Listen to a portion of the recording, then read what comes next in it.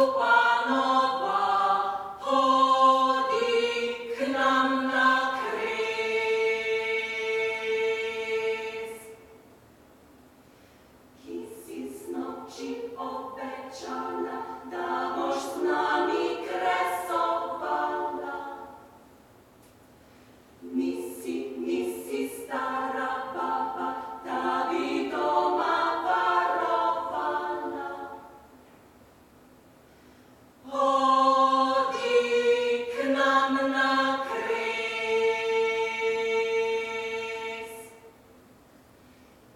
Ci obećali da se sami kresovali, vi ste znači obećali da se sami kresovali, vi ste znači